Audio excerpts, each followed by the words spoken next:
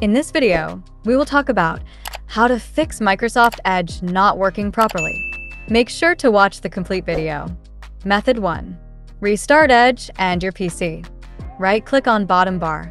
Select Task Manager. In the Task Manager search, type Edge. Now right-click on Microsoft Edge. Select End Task and close the Task Manager. Click on Windows icon and restart your PC. Method 2. Clear Edge browsing data. Right-click on Microsoft Edge and open it. Press and hold Control key, then Shift key, and press Delete on your keyboard.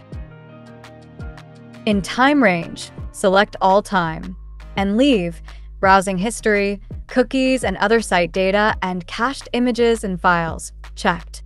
And click on Clear Now. Method 3. Disable extensions. Open Microsoft Edge. In the address bar, type edge colon forward slash forward slash extension forward slash and press enter.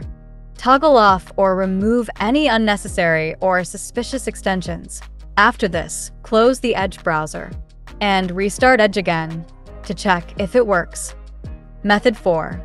Reset Edge settings. Right-click and open Edge browser. On the top right, click on three dots. Scroll it down and select Settings. On the left side, you will get Reset Settings. Now click on Restore settings to their default values and select Reset. Method 5. Repair Edge. Click on Windows icon. Select Settings. On the left side, select Apps then Installed Apps. In the Search Apps, type Edge. Click on three dots. Select Modify. Click on Yes. And select Repair. Make sure your internet is working. So that's how you can fix Microsoft Edge not working properly.